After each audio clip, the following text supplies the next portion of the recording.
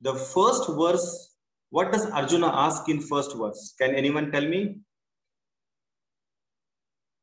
Yes, Sharav. First verse of Bhakti Yoga. Yes. So the first verse of Bhakti Yoga, Vishnu. Uh, Second, I tell Nayana. what was the verse? Was it my verse, sir? The verse that I chanted? It is just a revision. Okay, Nayana, you Oh. tell. So Arjuna asked which is the highest form of bhakti. Fantastic. So the first question was, which is the highest form of bhakti? Which of these bhaktas come to you, God? Is it the Nirguna or Saguna? Correct. And the second verse, his I answer remember was, the answer, sir. Uh, what was the answer? Saguna Bhakti is indeed great, but Yes. Nirguna Bhakti is the one which attains me. Fantastic. Children, see, we are learning this slowly, very slowly. In, in fact, in the last two months, we have completed 10 verses. What I want from you kids, when you finish the verse or when you have listened to one verse, please go and read it. So that we have a competition after this 12th chapter, right? And this is going to be asked. You are going to get points on this. Also, we have to have a one after another if you want to remember the verses you have to remember all the verses. So maybe it is verse of vishnu or verse by anvit or anyone else but i request all the kids to by heart the 12th chapter verse by verse with the meaning because bhakti is something which is different and it is very integral part of getting mukti. Without bhakti there is no mukti. And we all want and we all starve, strive hard to get bhakti, isn't it? Second verse, Bhagwan gives an answer that indeed Saguna Bhakti is very dear, but Nirguna Bhaktas only reach to me. Now, the third verse, there is one word called as Akshara Rupas, Aksharopasanam. Through that, you will reach me. Here in third verse, Sir, yes, I know 12th chapter. Who is this? Your Anand. video video Anand. Anand. Okay, you know third, 12th chapter entirely. Yes, sir. Very good, Anand. Very good. Vishwesh, you I want to know. ask? I know. I know till uh, Veshamano eva. Sir, I'm learning to by heart uh, the 12th chapter. Very good. Ma'am, what, sir, what's the full meaning of Aksharopasana? Yeah, I was going to come to that. So, Akshara Upasana Ah, is vara. mentioned. So, it is an expansion of your mind. The highest bhakta actually expands his mind to see, he, he sees in everything.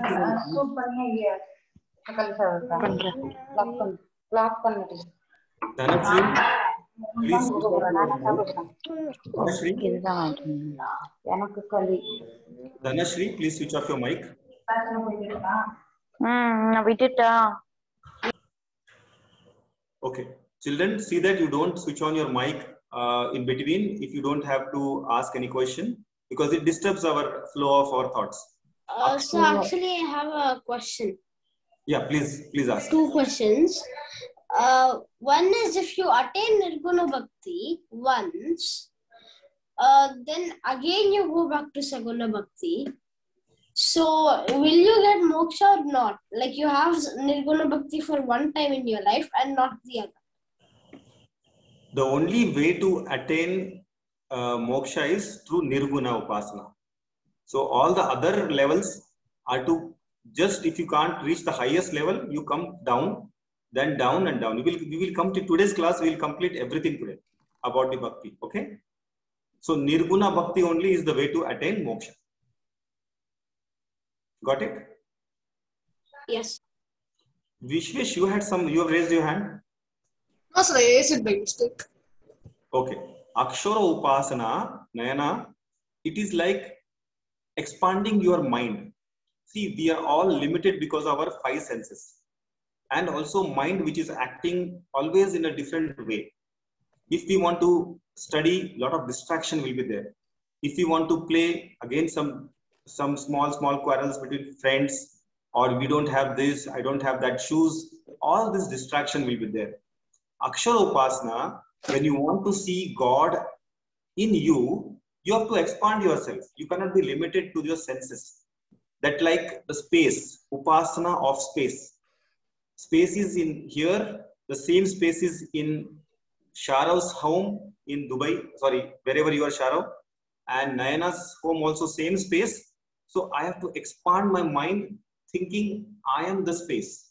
So when you have that expansion, you are Nirguna Upasaka. And in fourth verse, there are some specific uh, pointers that these people are Nirguna Upasaka. What are they? Some niyama indriya, they are controlling their senses. Sarvatra samabuddhaya.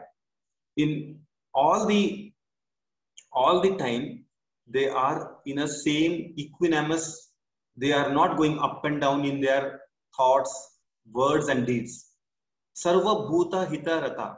So they are helpful to every being, be it a human being, be it an animal, or anything. They are always helpful all the time. These are the pointers that these people are nirguna upasakas. Okay? And in the verse, Lord Krishna confesses that this type of bhakti is very difficult, children. So, those who can't do this bhakti, that's where God is saying, come down to Vishwarupa Ishvara Bhakti. You cannot suddenly say, I am God. Expand your mind and say, I am God. It is very difficult. Expansion of mind requires no likes and dislikes. And as kids, as in yeah, if we can't if we uh, can't do nirguna bhakti first we have to uh, mm, do the other bhakti. Correct, very good. So, why don't we have that type of bhakti? Because we have a lot of likes and dislikes. Today when you go for dinner you see mother will prepare a lot of dishes but out of all the dishes you might like only sweets. Some people might like only oily food. Some people might like only french chips. So all these things there are a lot of likes and dislikes. Even in your day to day work like when you want to go to school you only some people like only maths. Some people don't they hate maths. So likes and dislikes in our Uh, life actually is the hurdle for expansion of mind so for such people sir i like all subjects in school correct I like all subjects. I like all. Uh, I like all the subjects and teachers in my school. even food. I like all of it because uh, because I don't have any specific food that I like. very good those children who are having no likings or dislikes that will be they will be having easy way for nirguna upasana but some people some children may not have that kind of uh, understanding. For those bhagwan says come down to vishwarupa ishvara means see in everything around me god. But difficult there may be difficulty in this also. So sixth seventh and eighth verse is level 4 bhakti. That is all the gods you see and in everything you see god. But you know that there is god is trying to come down for your if you are not able to do it he's telling you to come down ease ease your pressure. In 12.9 himahi has explained that if you cannot do this also then you have ekarupa ishvara bhakti or ishta devata bhakti. We have seen this in ninth verse that is again level 3 devotion to one form. Like here hanuman is devoted completely to one god that is rama this devotion is called ishta devata upasana bhakti but children how do you do ishta devata upasana that is by abhyasa yogena what is this abhyasa it is meditation it is like that God is not sitting there. He is sitting in the heart. As Hanumana, he will see the God in him, inside him, sitting somewhere in the deepest cave of his heart. That is Actually, Ishta uh, Devata son, Upasana that is explained.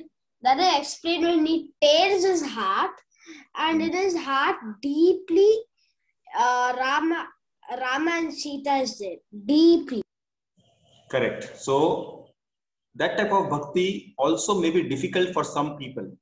So that's where again he gives us one concession. 10th verse, shifting down to ladder 2.